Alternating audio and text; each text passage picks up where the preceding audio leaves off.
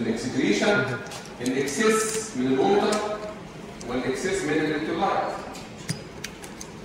هي بتحافظ على البالانس بتاع الموتر والالكترولايت من خلال الاورجانيزم من خلال الاكسكريشن. ريجوليشن اوف موتر بالانس محافظة على مستوى من الجسم و regulation of electrolyte balance محافظة على مستوى من الجسم بحيث الميه زادت ونخلص الميه الزيادة. يعني إحنا يتفوق على السهول كان كل ما زي ما بتقول الجبل كده بتحس نفسك عايز تشرب. تشرب. كل ما تبص على المية آه تلاقي نفسك شربت 2 لتر.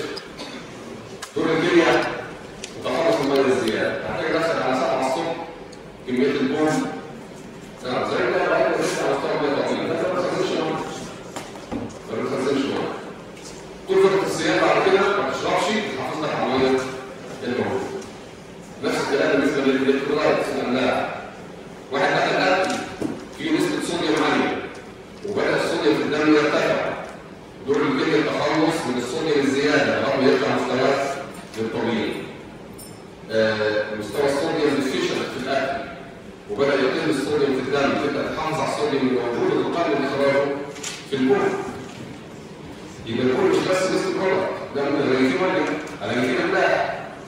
دي عباره عن حاجات زيادة عن حاله طيب من ضمن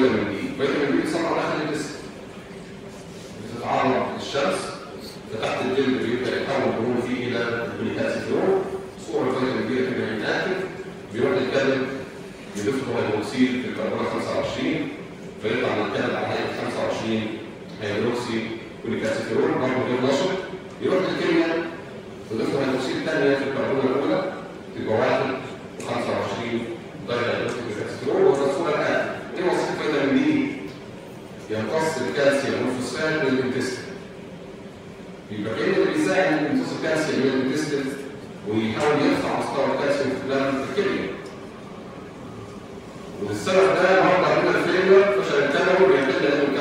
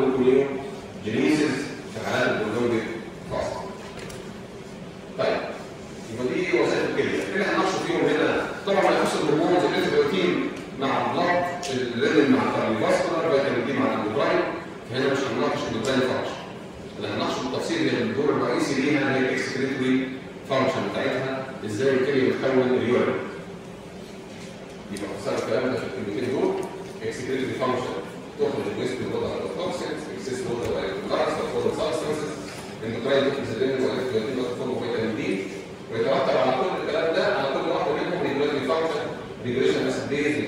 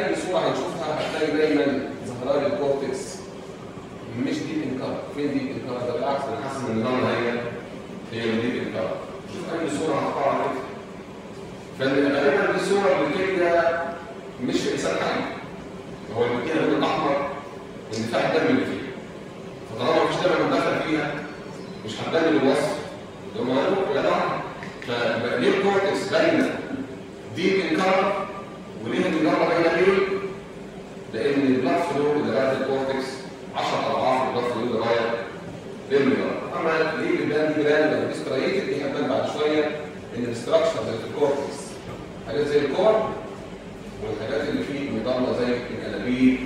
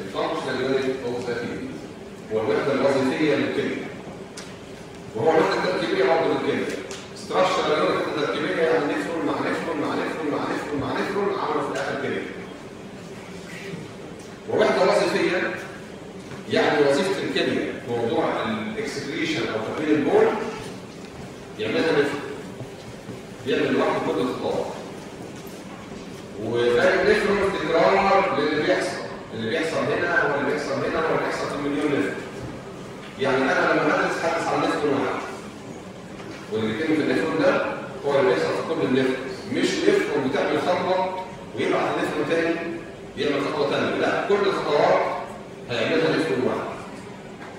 لكن عشان النفط الواحد ما يقدرش يدور في كل الدم فلازم العدد ده من النفرونز عشان يكون طيب إحنا اللي يكفينا فعلا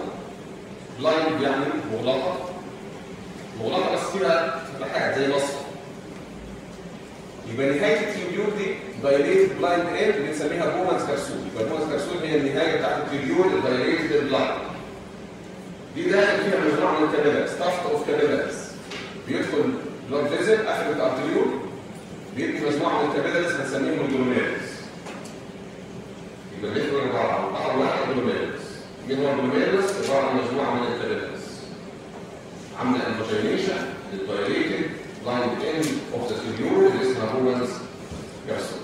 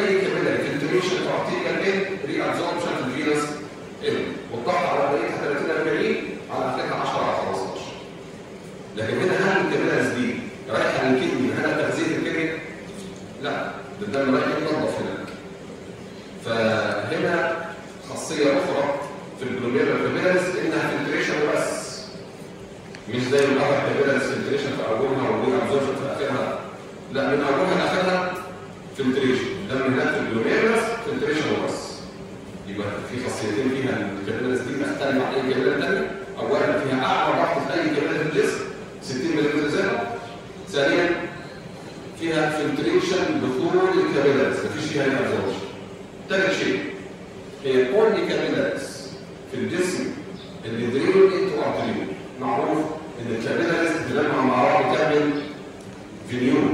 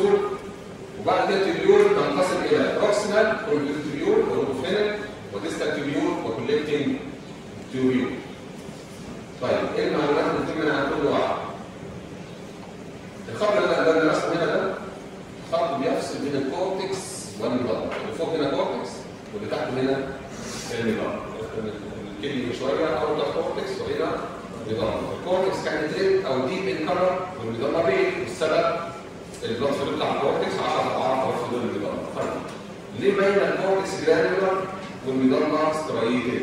لأن إيه اللي في ال cortex؟ فيها glomerular يبقى دي باينه نقط. مليانه بال glomerular وحتى ال tubule اللي فيها convoluted سواء ال proximal tubule أو distal tubule ده اللي مخليها باينه granular انها تحتوي على ال glomerular وعلى ال proximal tubule وعلى ال distal tubule يبقى هنا في الصفحة اللي تحت ال proximal convoluted tubule هنا مكتوب لك إنه إيه؟ مكتوب لها 15 مللي مش كل الأرقام دي. in the cortex ماشي. يبقى ال proximal tubule في ال cortex تعال تحت هنا في ال distal tubule طبعا 5 مللي مش مهم.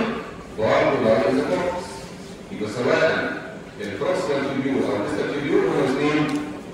lie in the cortex آه ال proximal وال distal الاثنين في ال cortex أما بره بقى ال striated المخطوط لأن فيها اللوبوفينيك فيها البروجكتين ضغط أو ماشي يبقى أول معلومه عن ال tubule إنها تقع في ال cortex made up of single layer of cells طبيعي. مش هنحفظ برضه مهم انها single layer أكتر من layer لكن إحنا هنا ده مكان هيحصل بعض ال concentration هنمتص المواد اللي محتاجينها هنطلب اللي إحنا مش عايزينه فمكان فيه تبادل برضه هيحصل مكان فيه تبادل طبيعي ده بتاعه يكون thick wall ولا thin wall أكيد thin فهيكون صف بس من الخلايا. فبتكون single layer of cells طيب. the helix cells united by tight junctions have distinct brush border و many mitochondria وعند ال base. these are extension of extracellular space or larger intercellular space طيب بس صعب. ده محتاج إيه رسمه رسمه هنا كده.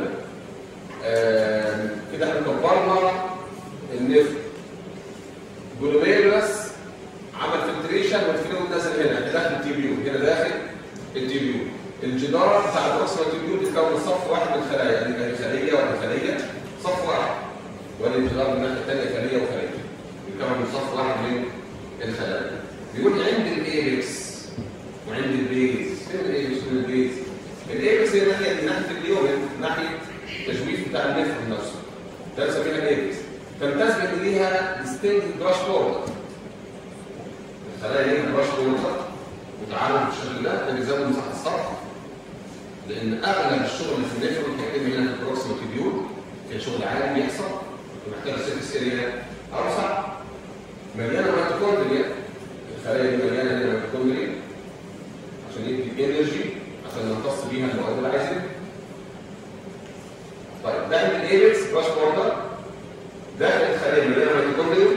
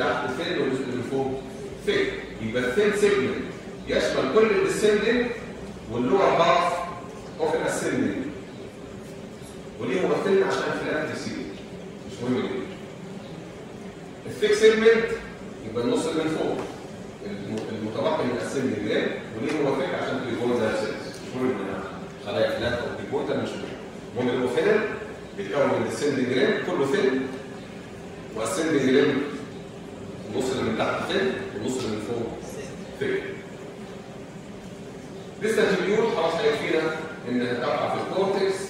ما فيهاش البراش بوردر زي بتاعت فيها براش بوردر بس أقل من البراش فيو. وفيها مايكرو فيو مايكرو مش مهم. كولكتنج دارت دي جزء منها كورتكس وميدالا جزء في الكورتكس أهو.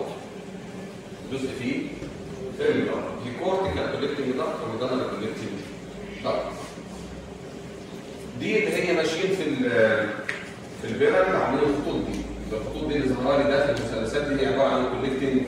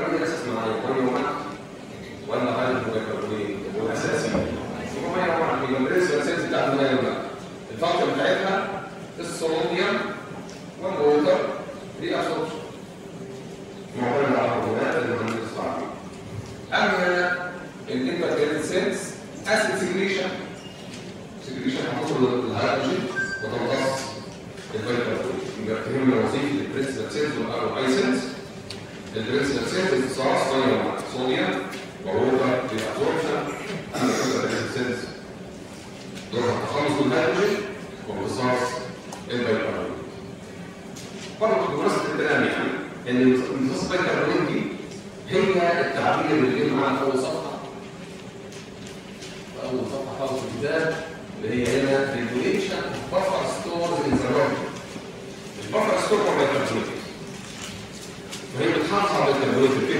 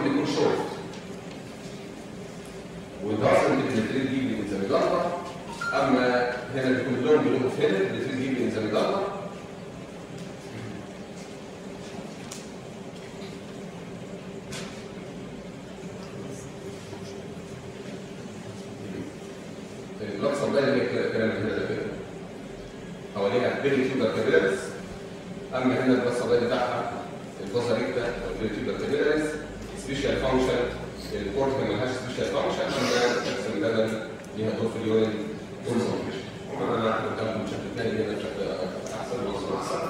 كورت ما يقدرش من أحسن حاجة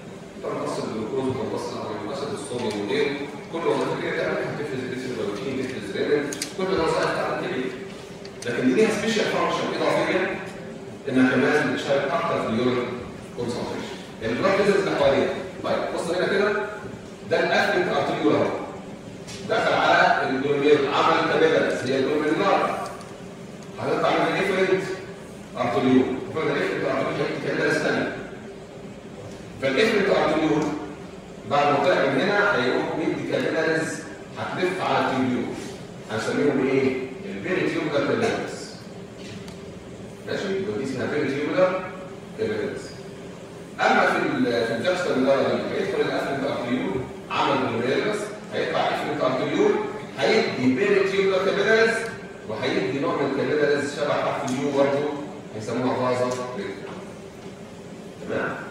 كده هنا. بنقول اللفظ الضاي في الكورتيكال نيفرون بيريت يبدا في بدايه الصعب القفل بتاع الطريق عمل دخل وعمل البروميروس وكان القفل الارتريول القفل الارتريول هيدي كابيلاس هتلف حوالين التيوبيول بيسموها بري تيوبيولا يعني حوالين التيوبيول لكن في الجاستر الدرجه ادي البيري تيوبيولا برضه؟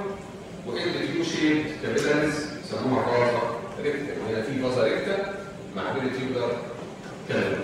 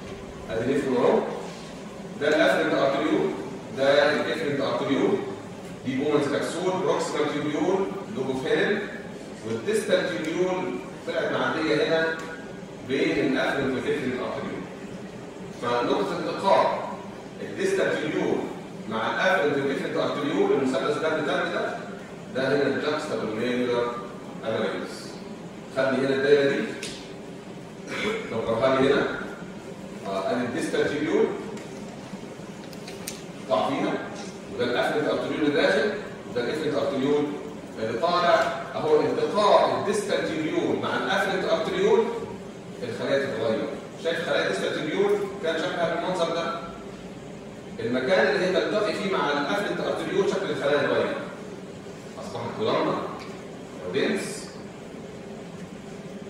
ودي هيسموها إيه؟ لاكتولابنز يبقى أول خلايا.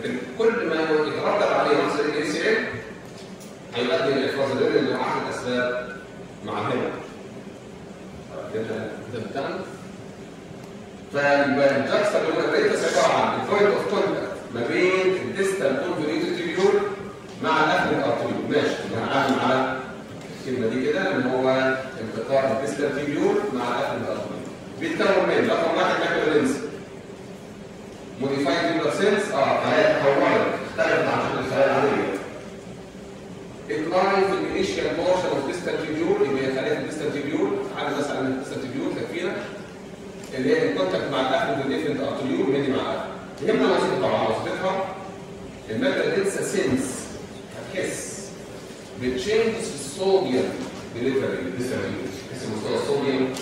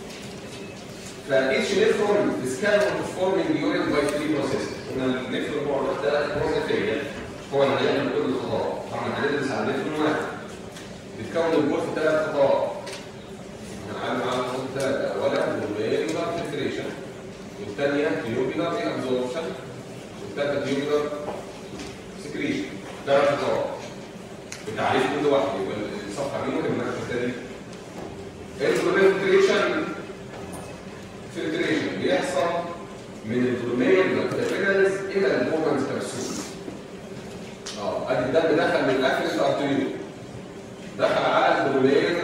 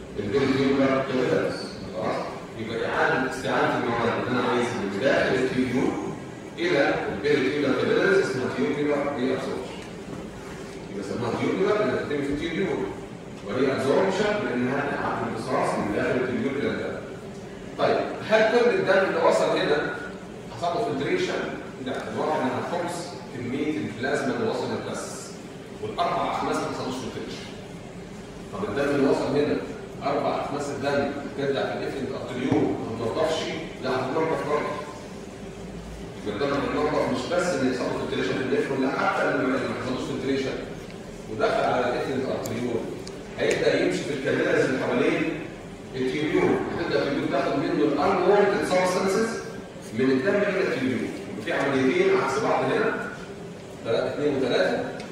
اثنين اخذ مادة من ال tubule للدم وثلاثة مادة من الدم إلى ال tubule من ال tubule للدم reabsorption من الدم إلى ال tubule secretion محصلة الثلاث خطوات هو البول يبقى أول شيء حصل تيوبيولا اجلوميرولا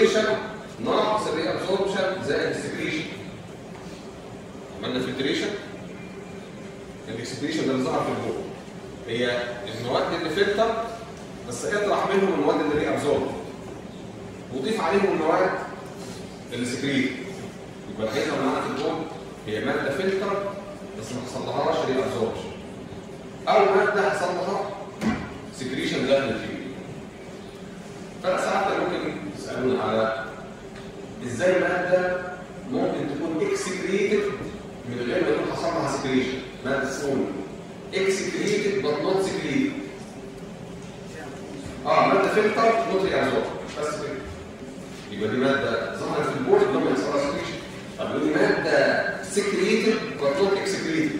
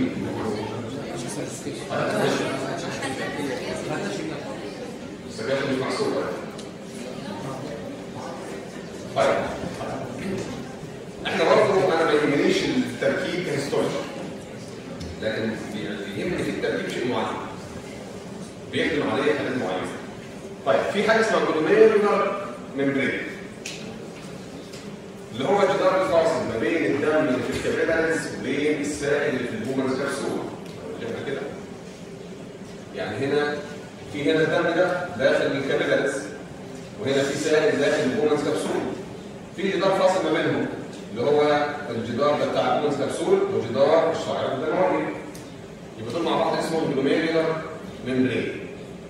ده اللي هو إيه يعني زي النفاذيه معينة يسمح بمرور مواد معينة ولا يسمح بمرور مواد أخرى عشان نفهم برضه ليه البروتين ما نزلش ليه كرات الدم ما نزلش؟ فاحنا محتاجين نشوف تركيب ال glomerular membrane. أنا كفسيولوجي ما يهمنيش تفاصيل التركيب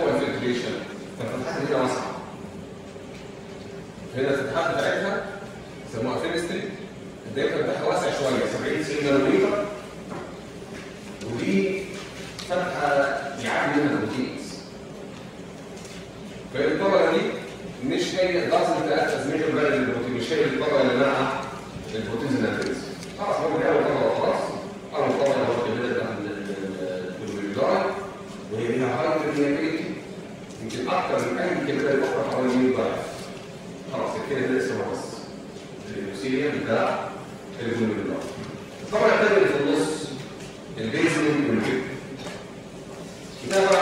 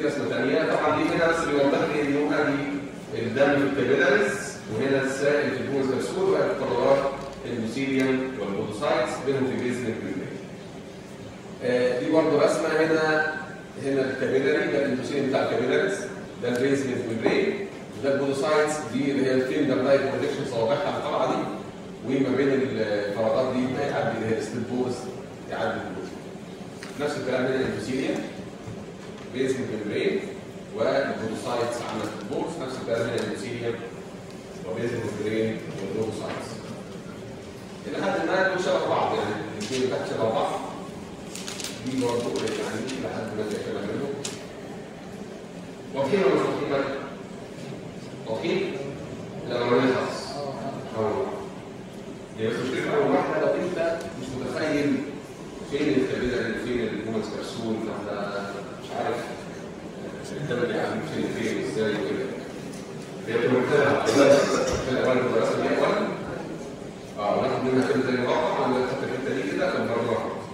بس عايز تبقى الرسمه إيه؟ معمولة المسيريا من فوق عشان يبقى ماشي مع الرسمه اللي تحت. المسيريا من فوق والخلاص المهم يبقى طالما متخيلين مظبوط يبقى كل سنة يكونوا موجودين. لكن في الآخر مش مش طالبين بحفظ التفاصيل اللي معانا. يكفينا إن ال glomerular membrane هو ال membrane اللي بيفصل بين الدم اللي في ال glomerular والسائل اللي في ال Bowman's capsule وده بيسمح بنفاذيه معينة. أنت بحجم معين تعدي أنت ما تعديش وإن ال effective barrier اللي منع نزول البروتينز هو ال negative charge على ال basement membrane أنا هشوف بس المعلومه اللي أنا عايزها مكتوبه مش مكتوبة. تقريبا مش مكتوبة. طيب.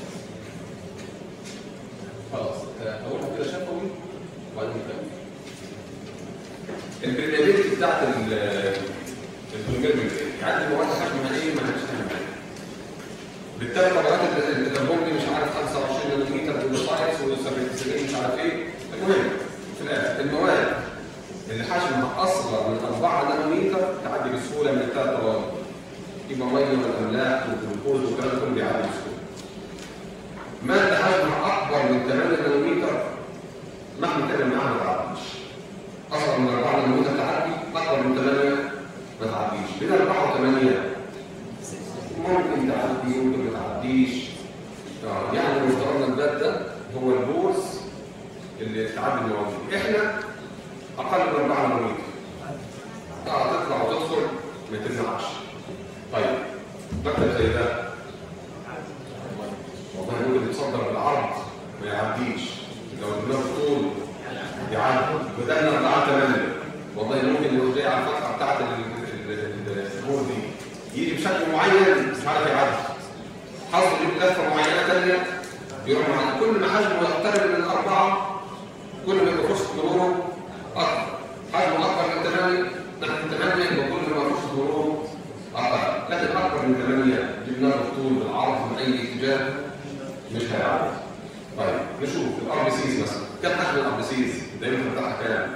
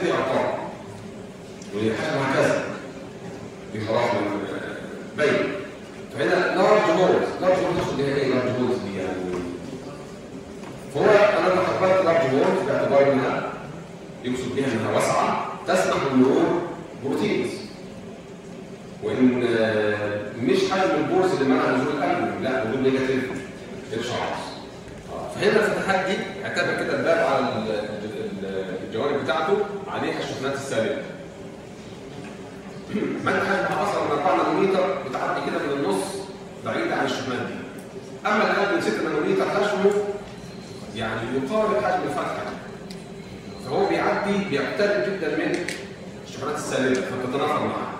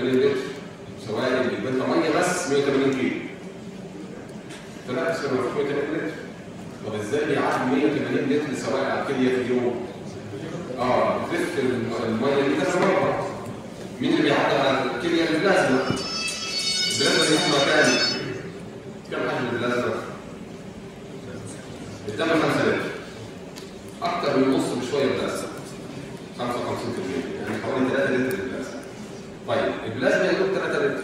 واللي عدى على الكلية 180 لتر. يبقى البلازما عدت كم مرة على الكلية؟ 60 مرة. يبقى الدم بتاع اليوم بيتنضف 60 مرة. انت معاك الايدين ربنا واحدة عمال ماشي بيهم حرك بيهم صاحي دايم والدم عمال يتنضف يوميا 60 مرة. ومواد الفشل الكلوي يحوش كل ال waste product يومين ثلاث أيام مع بعض يغسلهم مرة واحدة. اليوم الغسيل ده يتحط على المكنة آه ويفضل خمس ست ساعات عمال تسحب الدم يتنضف وترجع له تاني. اللي بيغسل آه، كل يومين يوم يروح الشغل ويوم يغسل. يوم يروح الشغل يوم يغسل. حياته مكانه كده إحنا مرة ادانا كلمتين نضف الدم 60 مرة في اليوم الواحد طبعا 60 مرة حتى لو لم حتى لو ورث عدد من النفس ونضف الدم 50 مرة 40 مرة. كل ده كافي ولا تحس بأي إعراض. مش هيبدا الإنسان يشكي من مشاكل في الكلى إلا لما يتبقى معاه أقل من 500000 نفس. طيب وهنا عايزين تعريف إن تعريف ال filtration rate وال volume of glomerular filtrate formed by glomeruli خلال 1 minute normal GFR 125 مللي minute مش مهم ان هو minute في المين في اليوم 180 لتر per day ال urine 1 لتر per day يعني كده 99% أو أكثر بيحصل له absorption الدم بيتنضف 60 مره في اليوم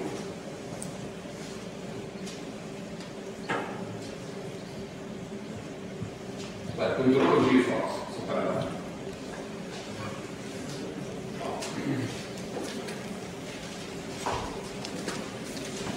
هنجرب اول صفحه دي شكلها صعب شوية آه، بس هنطلع في السنة ان شاء الله نعم لا أنا مش بسيط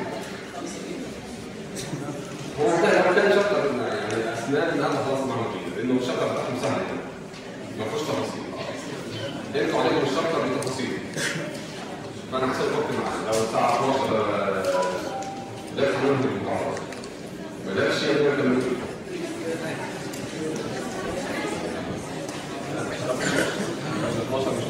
اللي عايز يمشي يمشي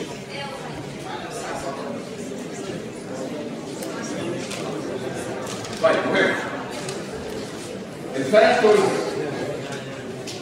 الفيبريشن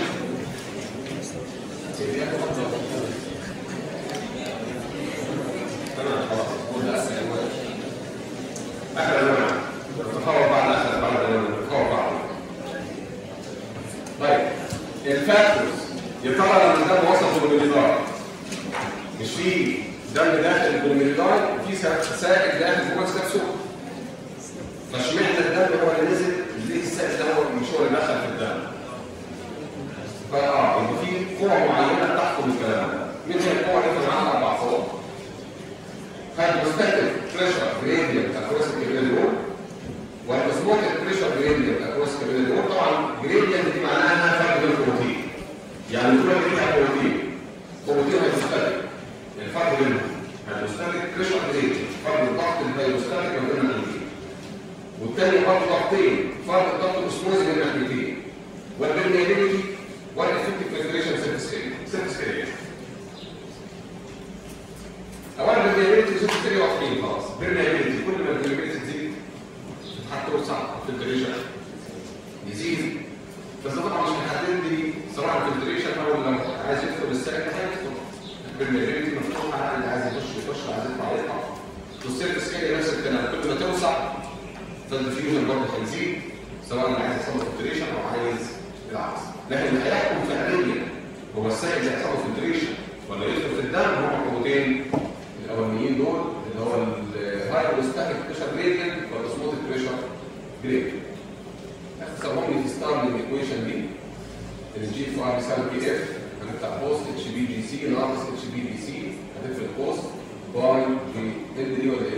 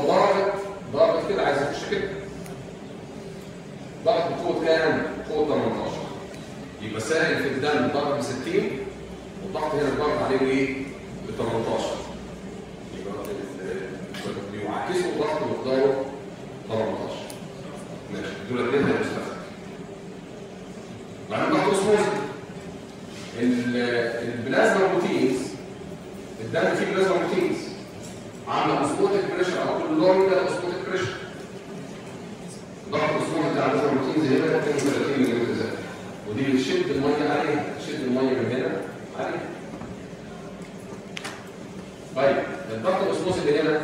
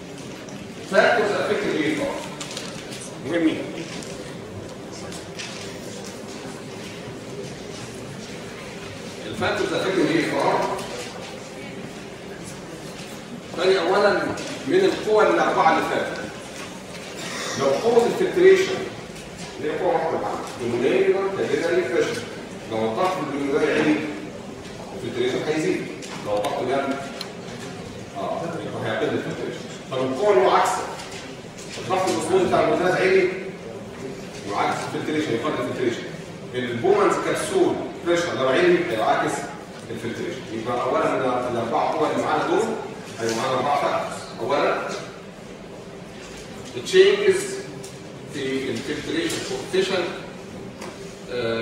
increase ال filtration يزود ال GFR طيب ال filtration coefficient كان مسؤول في الصفحه اللي فاتت اللي هو يتأثر بال permeability وال surface area فلو ال permeability زادت يعني ال pores وسعت وال filtration هيزيد ال surface area زادت آه يبقى ال filtration coefficient لما يزيد يزيد ال filtration. لما يقل يقل ال filtration. ماشي.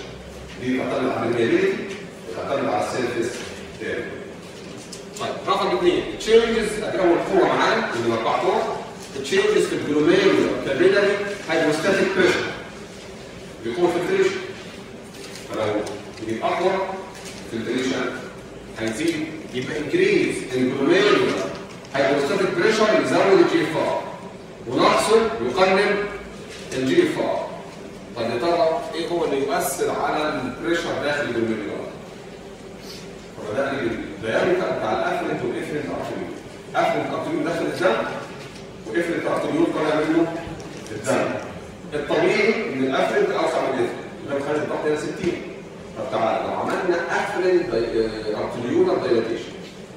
وسع ال afferent هيخش دم واحد يبقى الضغط هنا أكتر في ال filtration هيزيد. يبقى ال afferent arteriolar dilatation هيزود ال blood flow لل glomerular هيعلي الضغط ال glomerular هيزود ال filtration طيب afferent arteriolar constriction يقلل الدم اللي داخل يقلل الضغط ال glomerular يقلل ال filtration زي ما بيحصل مع ال sympathetic أو أثناء ال exercise بيحصل الكلام ده. طيب ده على ال afferent تعالى على efferent لو عملنا efferent dilatation آه ده بنخلي كان نخلي الضغط هنا عالي الدم مش عارف يطلع. فالدم لما يدخل تلاقي السكة مفتوحة خلاص يدخل من هنا يطلع على هنا. في يعني يساعد الدم يطلع من ال glomerular يبقى أسهل يخش على ال efferent arteriole ويقل ال filtration اما لو عملنا efferent constriction ده يبقى أكتر حبس أكتر الدم وال filtration يزيد. فرقم واحد diameter في ال afferent arteriole vasodilatation لل afferent arteriole زائد زائد HDDC يعني إيه؟ يزود ال hydrostatic pressure of ال glomerular capillaries اللي هو العمل نفسه. جلوميرولار كابيلاري هيدروستاتيك بريشر هيزيد. الضغط الجلوميرولار ويزيد الجي فار بمواد زي البرانفينين مستجد اليوتيوب مستجد اليوتيوب مش مهم اسم مواد مش مهم. المهم إن أي فاكتور يعمل ارتيولار دايلاتيشن هيزود الضغط في الجلوميرولار ويزود الفلتريشن طيب رقم بي فارز كونستريكشن الآخر بالعكس يقل الضغط في الجلوميرولار يقل الجي فار زي الادنى في السمباساتيك في تحكينا تماما. في السمباساتيك يعمل الآخر كونستريكشن فيقل الدم رايح كبير ويقل الضغط في الجلوميرولار ويقل الفلتريشن فلما بتضغط طبعا على السمباساتيك من الاكسرسايز يقل معدل تكوين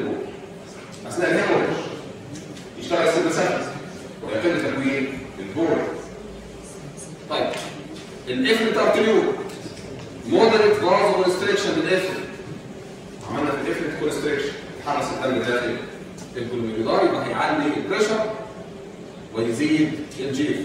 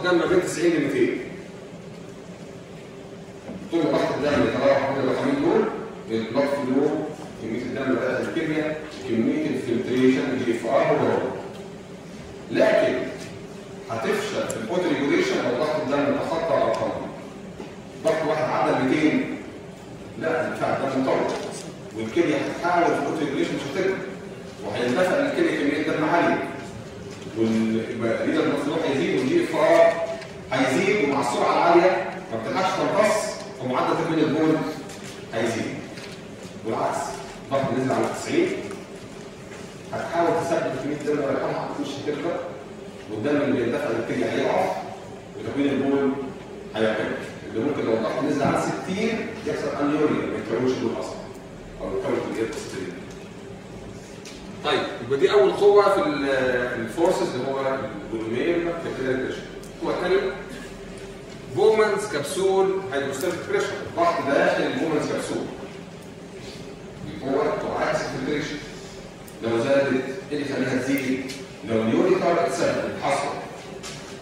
وبدأ يتراكم اليورين في اليوريكا وتراكم في الانابيلكس وبدأ يتراكم في الانابيل تحت الكلى هيبقى الضغط في البولز كبسول يعني